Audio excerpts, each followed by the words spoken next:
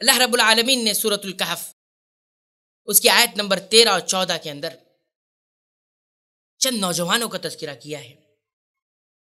یہ وہ نوجوان تھے جنہیں ہم اور آپ یا تاریخ اصحاب الکحف کے نام سے جانتی ہے، غار والوں کے نام سے جانتی ہے۔ آئیے دیکھتے ہیں رب العالمین نے ان کا تذکرہ کس انداز میں کیا ہے۔ اللہ رب العالمین فرماتا ہے، اعوذ باللہ من الشیطان الرجیم۔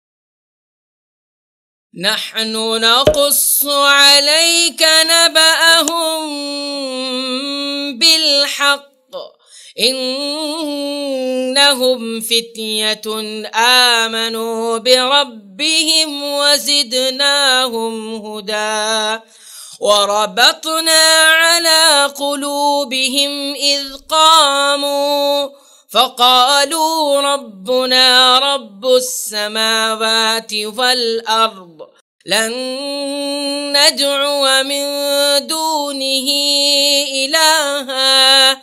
لقد قلنا إذا شططا.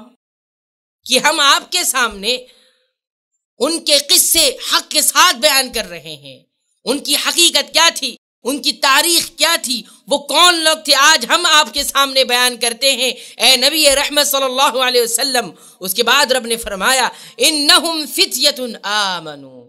بلا شبہ، وہ چند نوجوان تھے۔ آمنو بربہم، جنہوں نے اسی دنیا میں رہ کر کفر و شرک کے ماحول میں رہ کر اپنے حقیقی رب کو پہچان گئے تھے۔ آمن و بے اپنے رب پر ایمان لے آئے تھے۔ وزدناہم ہدا، اور ایمان لائے تو ہم نے ان کی گائیڈ بھی کی اور ان کی رہنمائی بھی کی اور ان کو ہدایت میں مزید بڑھا دیا۔ معلوم یہ ہوا کہ انسان اگر ایمان لے آتا ہے، اپنے رب کی مرضی پر چلتا ہے، تو رب رب بھی اس کی مدد کرتا ہے۔ حق کی تلاش میں انسان نکلتا ہے، تو وہ حق تک پہنچ کر ہی رہتا وَرَبَطْنَا عَلَىٰ قُلُوبِهِمْ، اور ہم نے ان کے دلوں میں مضبوطی پیدا کر معلوم یہ ہوا کہ جب ان، انسان اپنے رب کا ہو جاتا ہے، تو رب العالمین ان کے دلوں کو مضبوط بھی کرتا ہے، ان کے قدم کو جما دیتا ہے، اور انہیں کوئی پیچھے نہیں کر سکتا۔ فرمایا، اذ قامو فقالو اور وہ کھڑے ہوئے اور علل اعلان قوم کے سامنے یہ اعلان کیا، ربنا رب السماوات والارض ہمارا رب اور زمین و آسمان کا رب وہی ہے، ہمارا رب وہی ہے جو آسمان و زمین کا رب ہے۔ لن ندعو من دونه الہا، تم چاہے کچھ بھی کر لو، جان کے لالے کیوں نہ پڑ جائے۔ لن ندعو من دونه ہم اللہ رب العالمین کے علاوہ کسی اور کو پکار نہیں سکتے۔ سکتے، کسی اور کی پکار نہیں لگا سکتے۔ لقد قلنا اذن شتتا اور اگر ہم نے اس انداز کی کوئی بات کہہ دی، رب کی مرضی کے خلاف کوئی بات کہہ دی، اذن شتتا تو ہم برباد ہو سکتے۔ تباہ ہو جائیں گے۔ اللہ رب العالمین نے اصحاب الکہف کا جب تذکرہ کیا ہے کیا لفظ فرمایا؟ انہم فتیتن۔ وہ چند نوجوان تھے۔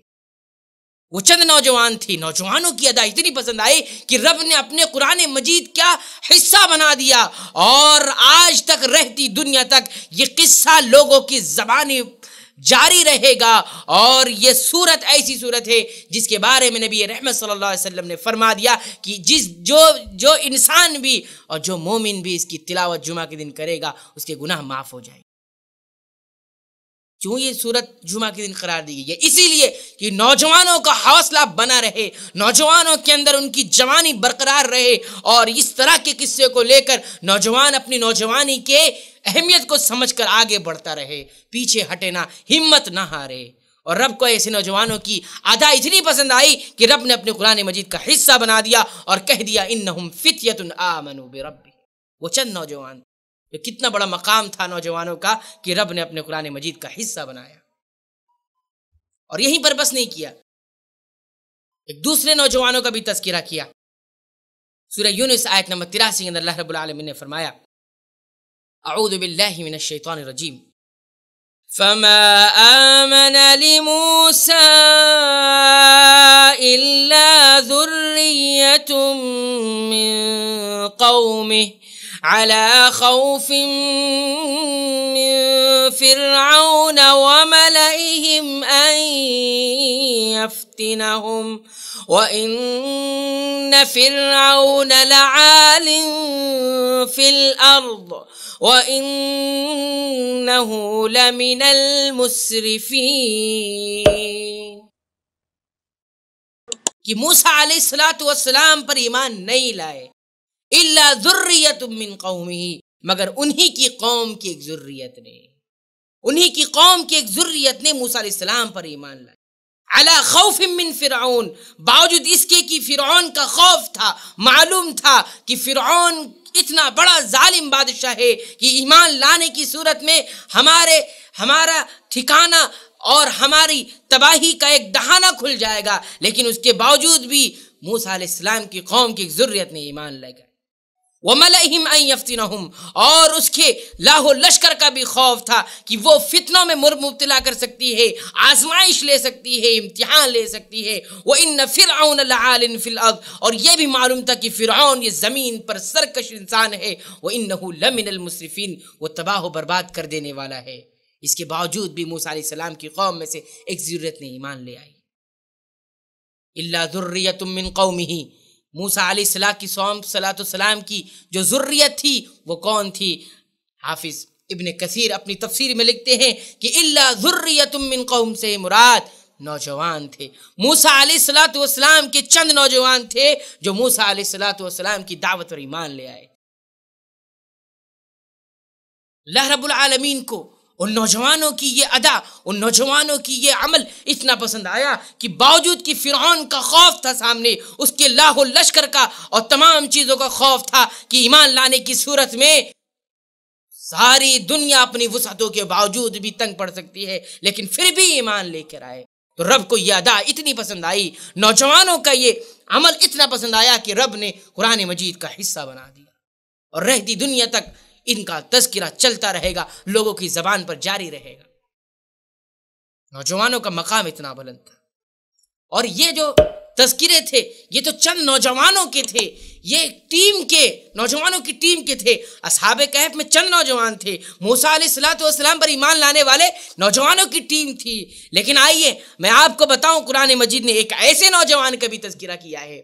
ایک ایسے نوجوان کا تذکرہ جو تن جو تنہا تنے تنہا کہ اس کے ساتھ کوئی نوجوان نہیں۔ اکیلا تنہا، وہ اٹھتا ہے حق کے لیے، وہ اٹھتا ہے دعوت اللہ کے لیے۔ اور ایسی صورت میں نہ تو اس کا کوئی ساتھ دیتا ہے، اور جب اٹھتا ہے تو اپنے گھر کی بھی مخالفت کرتا ہے، گھر والوں کا بھی ساتھ چھٹتا ہے۔ اور جب حق کا اعلان کرتا ہے تو قوم کی بھی قوم کی بھی مخالفت اس کو سہنی پڑتی ہے۔ قوم تو قوم، حکومت کے بھی مخالفت اسے سہنی پڑتی ہے۔ ساری چیزوں سے اسے کٹ جانا پڑتا ہے۔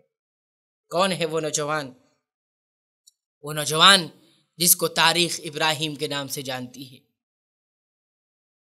وہ نوجوان جو اپنی دعوت کا کام شروع کرتا ہے، اپنے گھر سے شروع کرتا ہے اور اپنے نوجوان جب آنکھیں کھولتا ہے، شعور کی عمر کو پہنچتا ہے، تو کیا دیکھتا ہے کہ جس دنیا میں میں آیا ہوں، جس دنیا میں میں پیدا ہوا ہوں، جس ماحول میں میں میں نے آنکھیں کھولی ہیں، وہ ماحول تو اپنے حقیقی رب سے غفلت میں ہے۔ اپنے حقیقی رب کو نہیں پہچان سکا ہے۔ اور جب وہ رب کی تلاش میں نکلتا ہے، جب رب ملتا ہے، تو دیکھتا ہے میرا باپ جو میرے اس دنیا میں آنے کا ذریعہ اور سبب بنا ہے، وہ خود بھی اپنے حقیقی رب کو پہچان نہ سکا ہے اور وہ خود معبود بناتا ہے بدھ بناتا ہے اور اس کی پرشتش لوگوں میں پھیلاتا ہے۔ لہذا دعوت کا کام شروع کرتے ہیں اور اپنے والد کو، اپنے باپ کو کہتے ہیں، یہ دیکھو یہ کام غلط ہے، یہ تمہارا حقیقی معبود نہیں ہے، یہ بت جو تم خود تراشے ہو، جو خود تم نے بنائے ہیں، یہ بت تو کچھ نہیں کام آ سکتے۔ اور نتیجے میں کیا ملتا ہے اس نوجوان کو؟ نتیجے میں باپ کہتا ہے، گھر سے نکل جاؤ، ذرا سوچئے، ذرا ہاتھ، ذرا سینے پر دل پر ہاتھ رکھ کر سوچئے، وہ نوجوان کا، وہ نوجوان کا عزم کیا ہوگا؟ حوصلہ کیا ہوگا؟ کتنی ہمت ہوگی اس کے اندر؟ کہ دیکھیے مخالفت کے باوجود اور آپ ذرا سوچئے، ہر باپ کا، ہر باپ کی خواہش و تمنا یہ ہوتی ہے کہ جس مشن کو میں لے کے چل رہا ہوں، جس کام کو میں کر رہا ہوں، میرے بعد اس کام کو میری اولاد سنبھالے گی۔ میرے اس مشن کو میری اولاد، میرا بیٹا، یہ بیٹی لے کر چلے گی۔ لیکن یہاں تو معاملہ بالکل برعکس تھا باپ دیکھتا ہے، یہ تو میرے مشن کے خلاف میرا بیٹا کھڑا ہو گیا ہے۔ گھر سے نکال دیا جاتا ہے۔ سوچئے، ایک تنہے تنہا ایک نوجوان کو گھر سے نکال دیا گیا۔ اور کیا کہتا ہے وہ نوجوان اس کی کلمات سنیے۔ قرآن مجید نے اس کے الفاظ کو اپنا حصہ بنا لیا۔ فرمایا بعد ان تولوا مدبرین قوم کے سامنے کھڑا ہوا اور کہا، قسم ہے اللہ کی لاکیدن اسنامکم جن معبودوں کو تم نے، جن بتوں کو تم نے اپنا معبود بنا رکھا ہے، میں ان کو تہس نہس کر دوں گا۔ تم ذرا لوٹ کر تو آؤ۔ تم ذرا لوٹ کر تو آؤ فجعلہم جزادا الا کبیر لہم لعلہم الیہ اور آنن فانن سارے معبودوں کو اپنے عزم اور حوصلے سے توڑ تاڑ کر تباہ و برباد کر کے رکھ دیتا ہے، سوائے ایک بڑے معبود کے، ایک بڑی بت، بڑے بت اور بڑی مورتی کے۔ تاکہ آ کے دیکھ لیں تمہارے معبودوں کا۔ لعلہم الیہ یرجعون۔ آ کر دیکھ لیں ہمارے معبودوں کا کیا عشر نشر ہوا ہے، کیا حیثیت ہے۔ لوگ جب آئے قوم والے جب آئے، دیکھا، من فعل هذا بآلهتنا انه لمن الظالمین. کون ہے وہ بدبخت جس نے ہمارے معبودوں کے ساتھ اس طرح سے حرکت کی ہے، اس طرح سے غلیظ کام کیا ہے؟ انه لمن الظالمین، یقینا وہ ظالموں میں سے ہے، اس کو ظلم کی سزا ملنی چاہیے۔ اور پھر جواب کیا آتا ہے؟ قالو، لوگ کہتے ہیں، لوگوں کا جواب سنیے، سمعنا فتح یذکرہم یقال لہو ابراہیم۔ لوگوں کا جواب تھا، جب قوم والوں نے پوچھا، کس نے ہمارے معبودوں کے ساتھ اس طرح سے حرکت کی ہے؟ لوگوں نے کہا، سمعنا، ہم نے سنا ہے۔ فتح یذکرہم یقال لہو ابراہیم۔ ایک نوجوان کو یذکرہم جو ان معبودوں کے بارے میں باتیں کیا کرتا ہے۔ ہم نے سنا ہے ایک نوجوان کو۔ دیکھیے قرآن مجید نے اس نوجوان کو جو ابراہیم کہلاتا ہے، اس نوجوان کا تذکرہ کیا تو فتن کا لفظ استعمال کیا۔ فتن کہتے ہیں نوجوان انسان۔ نوجوان انسان کو، رب کو۔ یہ ادا بھی اتنی پسند آئی۔ اس نوجوان کی یقال لہو ابراہیم۔ لوگوں نے کہا، اس کا نام ابراہیم ہے۔ اسے ابراہیم کہہ کر پکارا جاتا ہے۔ اسی نے، اس کو ہم نے سنا ہے کہ وہ باتیں کرتا۔ سوچئے کتنا عزم ہوگا اس نوجوان کے پاس، کتنا حوصلہ ہوگا اس نوجوان کے پاس کہ ساری قوم خلاف ہو سکتی ہے، ساری قوم ظلم پر آمادہ ہو سکتی ہے، اس کے خلاف کھڑی ہو سکتی ہے۔ پھر بھی اس نوجوان نے یہ حرکت، اس طرح سے، اس طرح سے عزم لے کر یہ حرکت کی اور تمام معبودان باطلہ کو تحس نیس کر دیا۔ اور اس کے بعد جو فیصلہ ہوا، آپ خود جانتے ہیں اور آپ تر تاریخ بخوبی علم رکھتے ہیں۔ اس کے بعد کیا ہوا؟ لوگوں نے فاتو بھی اعلی الناس، لوگوں کے نگاہوں کے سامنے اس کو جمع کرو تاکہ لوگ دیکھیں اس کا جو انجام ہو کہ ہمارے معبودوں کے ساتھ کرنے کا کیا انجام ہوتا ہے۔ قالو، انت فعلت هذا بآلهتنا، یا ابراہیم، اے ابراہیم، اے نوجوان، کیا تو نہیں ایسا کیا ہے؟ کہا کہ اگر میں نے کیا ہے تو پوچھ لو، یہ بڑا بت آپ کے سامنے موجود ہے۔ یہ بڑے بت اور بڑی مورتی سے پوچھ لو۔ فس ينتقون۔ اگر بول سکتا ہے تو بول۔